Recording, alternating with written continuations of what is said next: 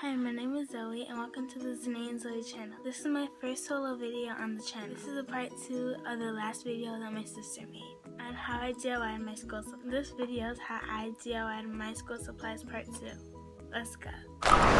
Something that is not in school supplies, but I DIYed it with washi tape.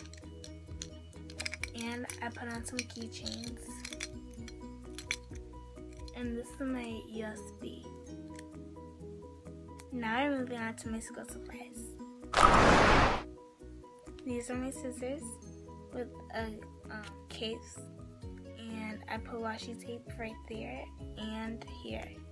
Next I'm moving on to my pencil. This is just a plain pink pencil what I might put glitter on and my mechanical pencils I put washi tape at the ends and way, way to DIY your pencils is to put glittery tape on it. I mean nail polish on it and also washi tape. So on this one I put glittery nail polish so it's glittery and I put a clear top coat of nail polish so it could seal in and some washi tape at the end. In this one I put washi tape and some pink nail polish right there. Next I'm moving on to my highlighters. So I have this pink pen one where I put washi tape on. And I have this highlighter that you can um, highlight. Now you just highlight on your paper. Now there's an eraser at the other side where you can erase your mark. Ta-da! Then it's gone. Next I'm moving on to my favorite pen, which is the Invisible Ink pen. I put washi tape on it show you how it works. First you can write on paper, your skin, or anything. And I just wrote on a piece of paper right here but you can't see it because it's invisible.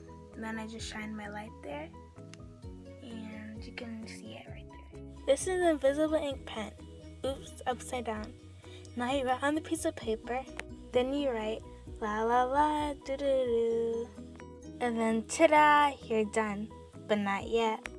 You press on the button that's on the cap, and then ta-da, your message is revealed. Also what I figured out, if you flip over the paper, you can see the highlighter. Isn't that cool? Awesome! Next moving on to my calculator.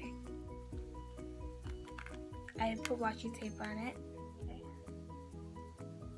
I just put strips of washi tape to brighten up my calculator because without it, you can see the batteries and stuff in it. Next, I'm moving on to my ruler.